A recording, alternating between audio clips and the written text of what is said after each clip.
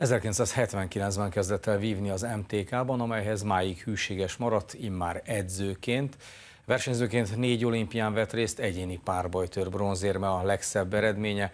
Mint Szanébold Illiko 50 éves lett, őt köszöntjük most a kérdéseinkkel. Szervusz, jó reggelt kívánok! Isten jó reggelt kívánok, köszönöm szépen. Nem te választottad a vívást, hanem fordítva? Igen, azt hiszem, hogy mondhatjuk így. Az általános iskolába jöttek a közeli MTK vívóterméből kiválasztani. Hát igen, azt kell mondanom, hogy a zuglói lányként így eldőlt az életed 1979-ben, amikor meglátott Udvarhelyi Gábor, de mit látott meg a toborzón benne Udvarhelyi Gábor? Igazából szerintem ott még nem nagyon látott meg semmit, csak olyan kritérium volt, hogy igazából legyenek jó jegyei a gyerekeknek, nehogy aztán a tanulás rovására menjen. Akkor meglát az ellenőrződet, azt, azt rendszeresen mhm. bekértek későbbiekben is, igen, igen, tehát azt ő ellenőrizte folyamatosan, hogy ne romoljon a tanulmányi eredményünk, és engem pedig az vonzott nagyon, hogy nem tudtam semmit erről a sportról. És az a milyen, milyen sportról tudtál valamit? Hogy álltál addig a pillanatig a sporthoz? Sajnos a családunkban nem sportolt senki, Viszont nekem jó adottságaim voltak, mert sok futóversenyen, iskolai versenyen vettem részt, és azt tudtam, hogy futni nem akarok, mert nem szerettem. És ez úgy érdekelt, olyan rejtélyesnek tűnt, érdekesnek, úgyhogy ez nagyon vonzó volt számomra akkor. És ez tűrözőként kezdődött, igaz? Igen. Akkoriban még az volt a rend, a trend, hogy mindenki törrel kezdett. Igazából nem volt akkor még női párbajtőr. És a fiúk is tőrrel kezdtek, és utána állították át őket, amikor már megerősödtek, egy-két évet eltöltöttek párbajtőrre. Egyébként ez egy jó iskola volt így? Szerintem nagyon, igen. Sajnos ma már nincs erre idő. Ezt kezdem, hogy ez sajnos, mert hogy nem volna, igen. hogyha... Tehát én úgy gondolom, hogy olyan technikai alapokat, olyan szakmai biztonságot adott ez a vívoknak, amire nagy szükség lenne, de most már nincs rá idő. Ja, hát a szakosodás minden rohan a világ, és akkor e, erre, hogy ilyen szépen így felépíteni valakit, erre abszolút nincsen már idő. Nincsen, és nagyon hamar ö, oda kell állítani, versenyeztetni a gyerekeket, mert ö, nem lehet őket úgy lekötni, ott tartani versenyek nélkül. Úgy a gyerekek is elvárják, szülők is elvárják, úgyhogy hát ehhez alkalmazkodnunk kell nekünk is, sőt most már nem is harmadik, negyedik osztályos korba kezdik, hanem egyre korábban mert addigra az összes többi sportág már, te, már elviszi a gyerekeket. Értelek, mert most rátapintottál szerintem egy fontos dologra, ez a, hogy teljesen megváltozik nem csak a gyerekeknek, az embereknek a, a figyelme, sokkal több dologra figyelnek egyszerre, nem tudnak hozzá, és akkor ebből ez is fakad, hogy azért versenyeznek egyre korábban és egyre többet, mert hogyha nem versenyez, akkor nincs meg a türelem, akkor elmennének, nem? Biztosan, igen. Tehát, hogy már gyerekként is ezt a tétet kell szimulálni mindenkinél. Én is úgy érzem, hogy, hogy egyszerűen elvárják, hogy minél hamarabb teljes felszerelésük legyen, minél hamarabb beköthessenek asszozni, és kipróbálják magukat a versenyeken is. És még nem biztos, hogy ott tartanak sem mentálisan, sem fizikálisan, de hát minden országban ez van, úgyhogy ez, ehhez kell alkalmazkodnunk. Igen. Ez a bizonyos kiéheztetés és lépcsőfokok, ez nálad ez hogy működött még? Mi még annó két éven keresztül nem is kaptunk fegyvert a kezünkbe, tehát lábmunkáztunk, futottunk, erősítettünk, úgyhogy az egy nagyon nehéz időszak Kettő volt. év? Kettő év, igen. Akkor már ki voltál éhezve rá? Nagyon. De oda mentél, és azt mondtad, hogy ez milyen érdekes lesz, milyen titokzat, és aztán még két éven keresztül, hogy úgy mondjam. És akkor úgy kezdték, hogy menjünk ki futni az atlétikai pályára. Az elől menekültél el. És akkor úgy elgondolkoztam, hogy biztos ezt akarom. Igazából a, a az Atlantai olimpia fordított a sorsodon, mármint hogy úgy értem, hogy, hogy a tartalék inkább fegyvernemet váltott? Igen, igen. Ez, az volt az első olyan olimpia, hogy a tartalékok nem lakadtak bent a faluban, hanem teljesen külön egy szállodában ö, ö, helyeztek el minket, és metróval jártunk be a, a versenyekre, mert ugye vinni kellett a cuccot, hogyha bármi ott történik, akkor be kell állnunk.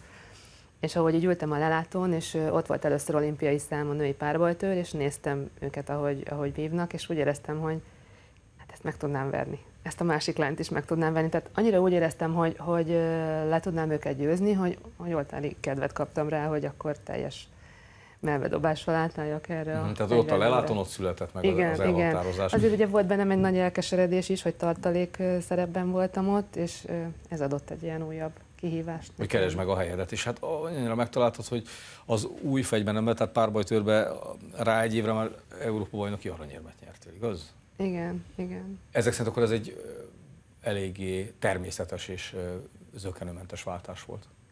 Én Vagy... úgy érzem, hogy igen, igen, jól sikerült. Uh, igazából ez az átmenet könnyű, tehát a törből a párbajtör felé visszafele szerintem már nem nagyon menne. Tehát párbajtöröző az nem nagyon tud átállni törre. De miért? Hát a konvenciók miatt. Ugye párbajtörbe az igazság győz. Aki hamarabb talál, az adja a találatot.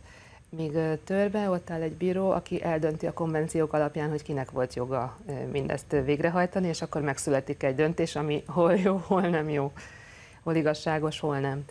Úgyhogy ezt, ezt egy párbajtörőzőnek, aki ebben nem nőtt fel, e, ez nagyon nehéz. Tehát ezt így mentálisan visszabonyolítani, ez nem működik? Az nem. Az nem működik, ez csak abba, abba az irányba, hogyan te élted végig. Az még egy érdekes kérdés, hogy egyébként miközben ugye belecsöppentél ebbe, és már jöttek az eredmények, és élsportol lettél, na aközben végig megmaradt ez a másik fókusz a tanulásom? Végig igen. Tehát miután elvégeztem a testnevelési egyetemet, utána mentem a Szegedre a jogi egyetemre, és azt, azt, azt, azt hiszem, hogy 2003-ban, ha jól emlékszem, akkor államvizsgáztam, és utána jelöltként dolgoztam tovább. Tehát azt kell, hogy mondjam, hogy ez itt teljesen összefonódott a vívó pályafutásom és a tanulmányaim, mert ugye 2008-ban volt az olimpia, és én 2003-ig folyamatosan tanultam. Uh-huh. Aztán valahogy az élet úgy hozta, hogy alapvetően mégsem eh, jogász meg ügyvéd lett belőled. Igen, én úgy gondoltam, hogy eh, tehát ez volt az életcélom végig, hogy ügyvédként dolgozhassak, és ez a három év, amit jelöltként eltöltöttem, az úgy, úgy megváltoztatta ezt.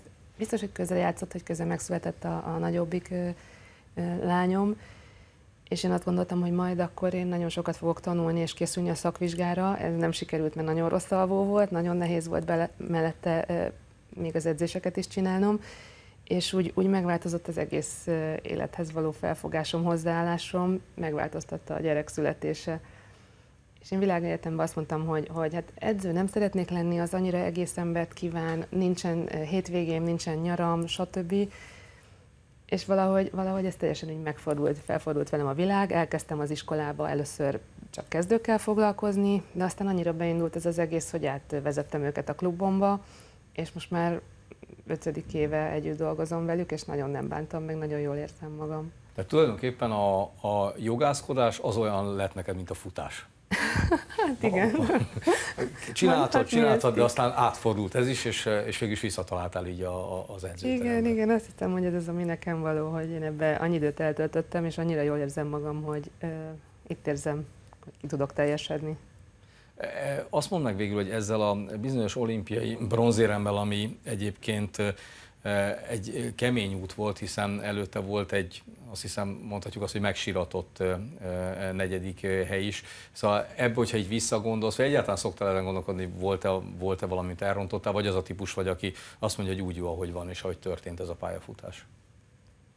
Most ennyi időtávlatából abszolút úgy érzem, hogy így jó, ahogy van. Tehát akkor ott nagyon nehéz ezt feldolgozni, hogy, hogy már megint ott voltam a, a, a legjobbak között, de nem sikerült a csúcsra feljutni, tehát akkor azt nagyon nehéz volt, de az idő úgy mondják minden sebet begyógyít. Nem is tudom, hogy ez mennyire volt sem, mert azért az a, az a bronzérem az, az, az helyre hát tette ott a dolgokat, nekem legalábbis.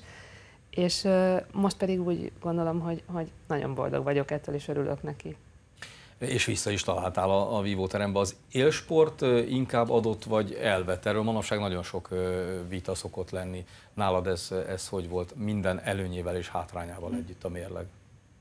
Én azt gondolom, hogy, hogy azok, amikről le kellett mondanom, azok csak akkor abban a pillanatban voltak fontosak, és hosszú távon azok nem számítanak.